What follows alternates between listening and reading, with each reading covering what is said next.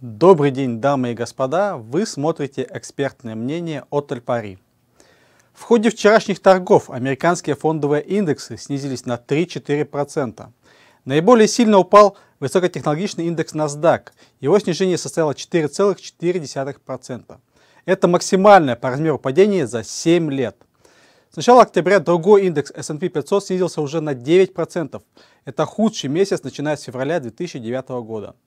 Параллельно мы отмечаем спрос на защитные активы золото и US Treasuries. Вчера доходности американских гособлигаций снизились до 3,1%. Явной причины для падения американского рынка вчера не было. Настораживает то, что в последние дни падения американских индексов участились. Ведь рынок еще не забыл снижение 10 октября.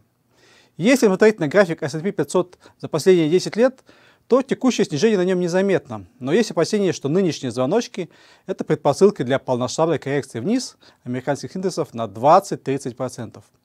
За последние 8 лет американский индекс S&P 500 вырос в 3,5 раза, так что коррекция вниз назрела. Отметим, что инвесторов настораживает крепкий доллар, торговая война США и Китая, а также предстоящие 6 ноября выборы в Конгресс США – по их итогам позиции Демократической партии в Палате представителей США могут укрепиться, а значит критика Дональда Трампа до конца года усилится и фондовые индексы может, могут оказаться под давлением. Вы смотрели экспертное мнение от Альпари, будьте в курсе.